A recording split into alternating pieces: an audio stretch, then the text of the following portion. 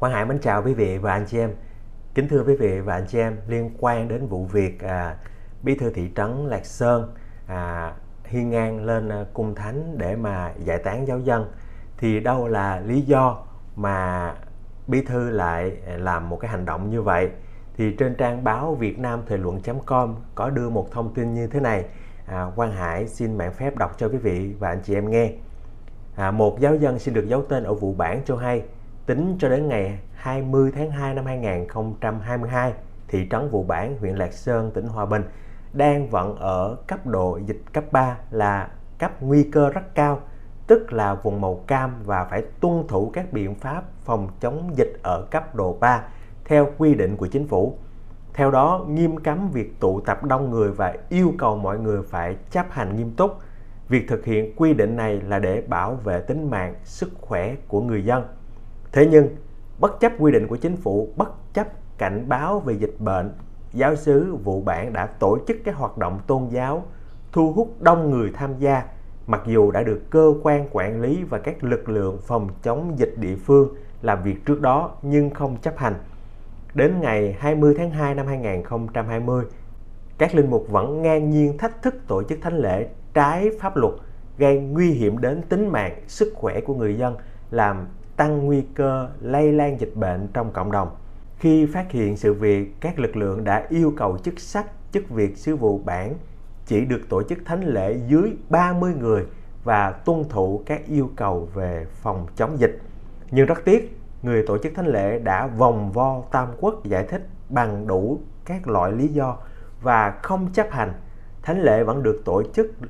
lễ thu hút trên 100 người tham gia và không tuân thủ triệt để các biện pháp phòng chống dịch gây nguy cơ cao trong lây lan dịch bệnh trên địa bàn. Người đàn ông mặc áo mưa vào gặp gỡ các linh mục chủ tế và giáo dân để thuyết phục giải tán thánh lễ. Không thành đó chính là bí thư đảng ủy, chủ tịch hội đồng nhân dân thị trấn Vụ Bản Phạm Hồng Đức. Việc ông Đức xuất hiện có lẽ chỉ là biện pháp cuối cùng để ngăn chặn nguy cơ lây lan dịch bệnh Covid-19 tại địa phương. Xin được nói thật, vào đến nhà thờ mà ông Đức chỉ cần có cái chỉ tay vào mặt các linh mục thì tôi tin ông đã ra đi không toàn thay và chắc chắn các trang tin của Tổng giáo phận Hà Nội đã không viết như thế. Rõ ràng trong cái vụ việc này đã có rất nhiều đối tượng lợi dụng để xuyên tạc vụ việc nhằm kích động mâu thuẫn lương giáo, kích động việc chống phá nhà nước.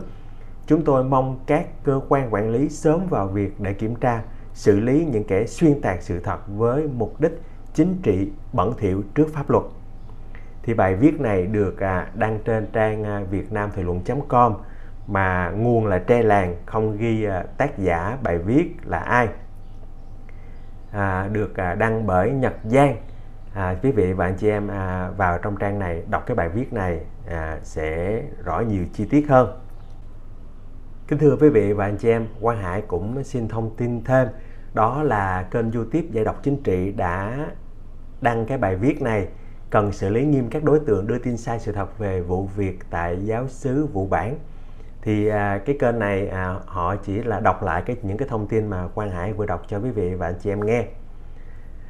Thì à, sau khi à, đọc à, những cái thông tin này mà không rõ tác giả là ai thì à, Quang Hải cũng à, góp một vài ý kiến về việc à, lây lan dịch bệnh Covid-19. Kính thưa quý vị và anh chị em, như quý vị và anh chị em cũng biết là trong cái thời gian mà chính phủ đưa ra cái việc là à, ngăn chặn à, dịch bệnh Covid-19 thì à, bên công giáo chúng ta cũng đã à, cộng tác bên chính quyền đó là có thánh lễ trực tuyến à, cho tất cả thành phần dân chúa à, để mà xem trực tuyến à, và hạn chế rất là nhiều trong cái việc à, anh chị em đến nhà thờ để tránh cái việc lây lan. Thì sau khi chính phủ đã đưa ra những cái nghị quyết là bình thường mới tất cả hoạt động xã hội phải trở lại bình thường để bảo đảm cho cái sự à, kinh tế hoạt động trở lại. Và việc à, như quý vị và anh chị em cũng xem là trong cái lúc mà anh chị em tham dự thánh lễ tại vụ bản thì hầu như mọi người đều à, mang khẩu trang cả. À, như quý vị và anh chị em để ý. Rồi à, à, việc à, phòng chống dịch bệnh lấy cớ phòng chống dịch để mà hi can xông lên à, cung thánh như vậy thì à, bất cứ một người công giáo nào cũng không thể chấp nhận như vậy. À, dù là có chuyện gì hay đi nữa à, chúng ta cũng có thể hiện một cái thái độ hết sức à, trưởng thành đó là sau khi thánh lễ chúng ta nói chuyện. Đằng này anh xông lên như vậy thì đó là một cái điều không chấp nhận. Đúng hay sai thì chuyện đó chúng ta nói sau. Còn đang dân thánh lễ trong cái giờ thánh thiên của người công giáo tổ chức